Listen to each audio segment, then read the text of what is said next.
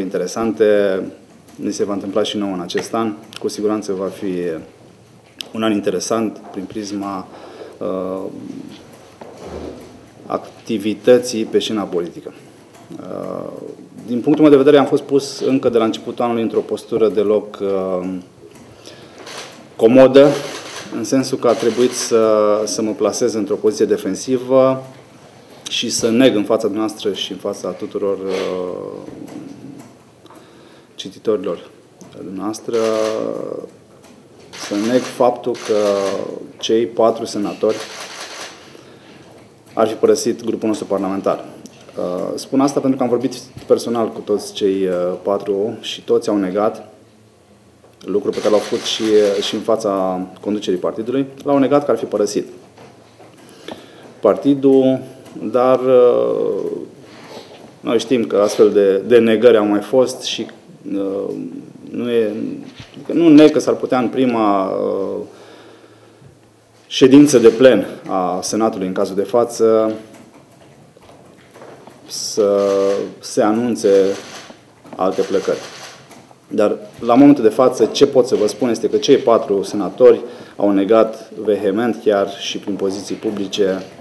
că, că au părăsit partidul și că s-a desfințat grupul parlamentar de, de la Senat al Partidului Poporului. Uh, între timp, uh,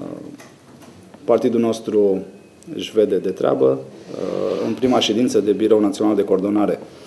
uh, s-a aprobat înființarea unor funcții de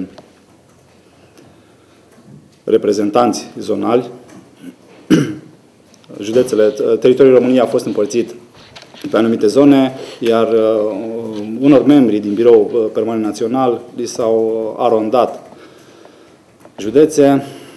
pentru, pentru a fi coordonate. Mie mi-au fost repartizate județele Timiș, Arad și Bihor,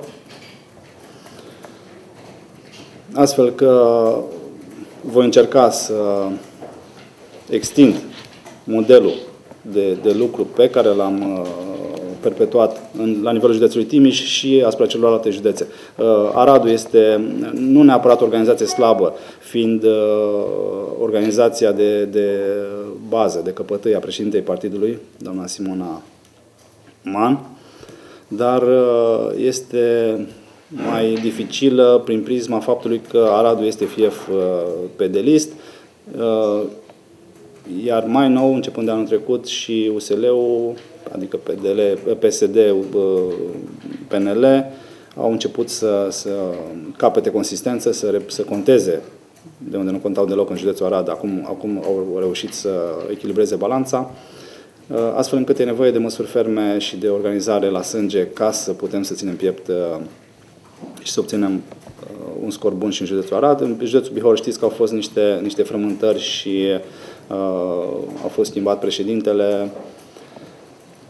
cu deputatul Hulea Ioan, acesta din urmă plecând uh,